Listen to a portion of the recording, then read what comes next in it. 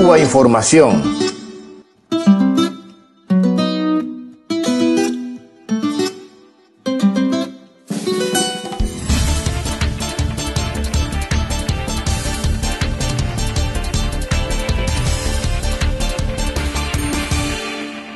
Buenas tardes para todos los presentes. Eh, mi nombre es Berta Soler Fernández, fundadora de las Damas de Blanco. No disfrutamos de un entorno seguro porque el Estado eh, ofrece impunidad a quienes nos agreden y buscan cualquier excusa para enjuiciarnos, como es el caso de Sonia Garro Alfonso mujer afrodescendiente, única dama de blanco en prisión desde el 18 de marzo del 2012, a- acusada de dos delitos, atentado, desorden público y asesinato en grado de tentativa. Eh, tengo que manifestar que conozco a Sonia, a Sonia Garro, eh, don- en el lugar donde reside.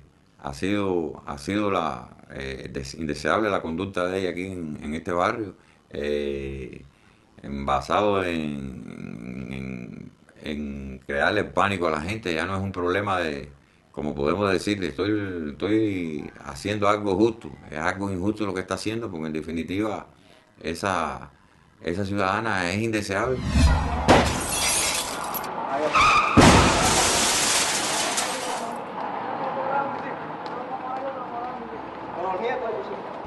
En varias ocasiones los conseguía, los tuve pantalla y los tiraba para la calle. Encendía goma. En la azotea de su casa encendió una goma una vez y después la tiró para la calle. Ella y su esposo estaban protestando eh, un 18 de marzo de 2012, que se cumple un aniversario más de la Primavera Negra. Y también las damas hacen, eh, acostumbran a hacer su té literario los días 18 y 20 de cada mes.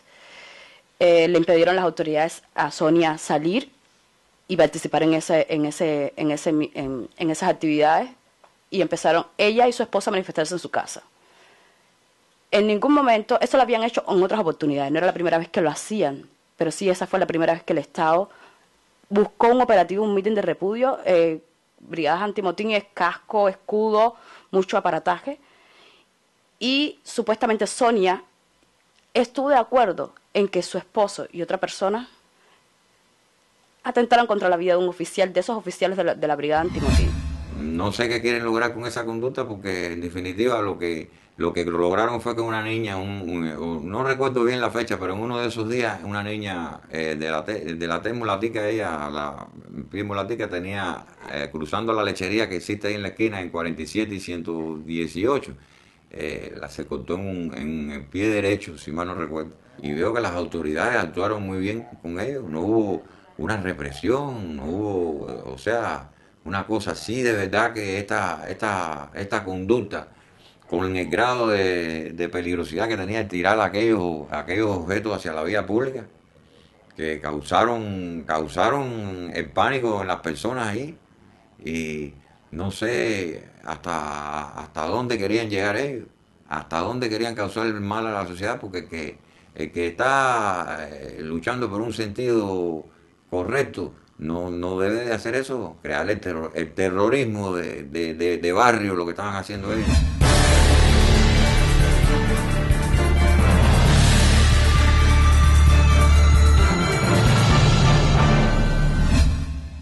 Él no pensaba en los inocentes que venían pasando, ni en las personas que podían haber sido afectadas.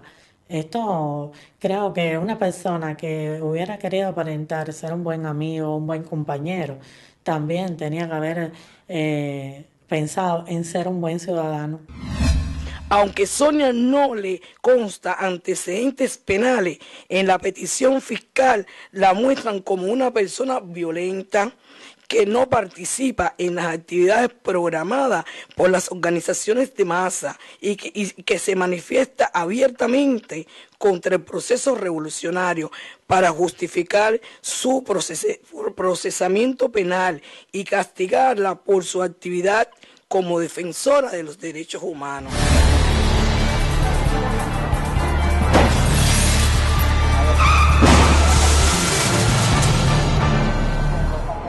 Que formen escándalo, que tiren escombros, que pongan escándalo, porque hay una vez tuvieron que venir hasta los bomberos ahí, porque formaron una escandela tremenda que todo el mundo estaba asustado.